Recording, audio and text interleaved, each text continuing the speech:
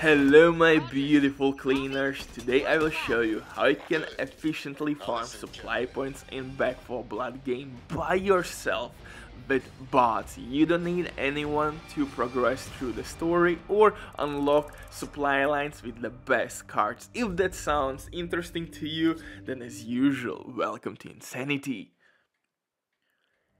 And guys, lately I received a lot of questions about solo farming or how to set up your game in a way that you could play with bots. And everything is really simple. So you have to go to preferences and in matchmake preferences you have to create private lobbies. After that, go to your privacy settings and you should set your party with invites only so that you could invite people only. Nobody can join you or maybe friends, it depends on your preference, but definitely you should apply these settings. And after that, you can use whatever mission you want, you can run whatever difficulty with this mechanic but for the best supply farming method. Right now we have only one mission which is unbeaten, the road to hell at act 3.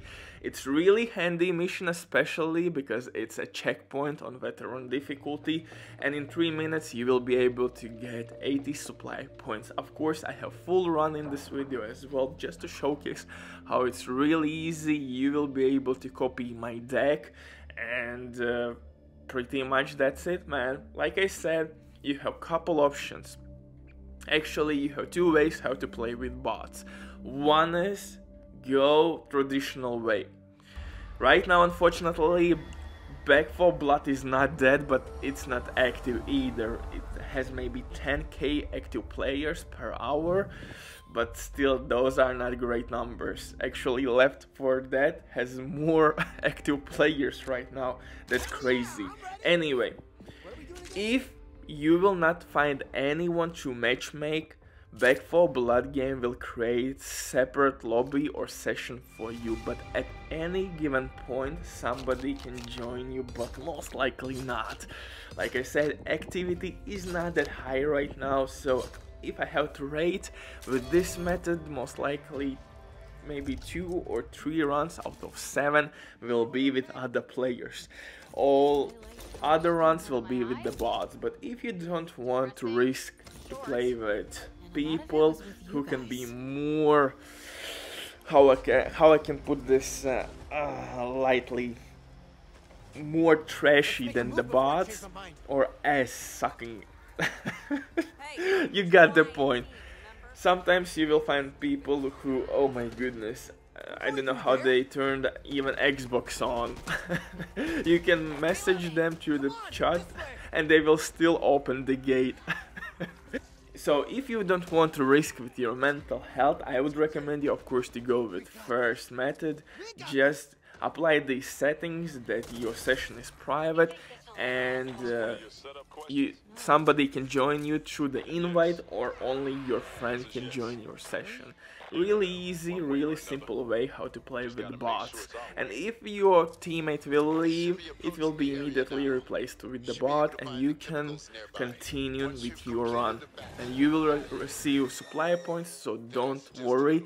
even if you will play with some friend and he has to go you will be able to carry your progression even further and achieve or receive supply points. But like I said, right now you can wait.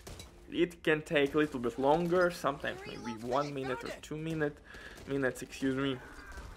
But still, most likely this game will create your own lobby for you anyway. So yeah, these are two dope ways.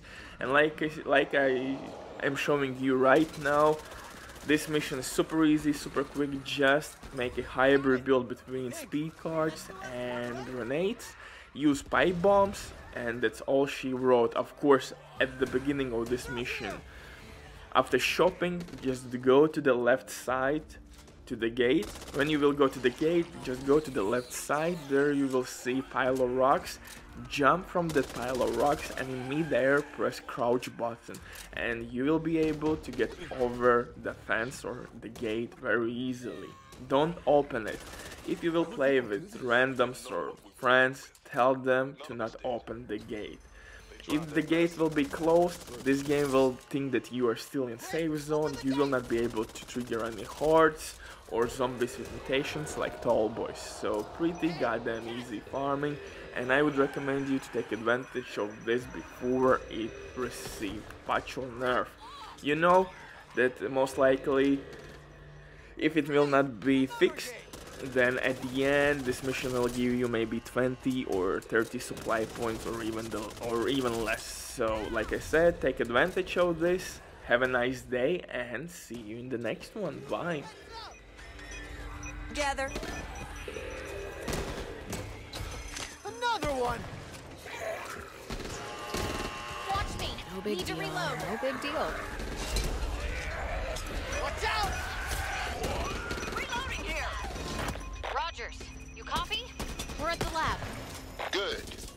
Now listen carefully.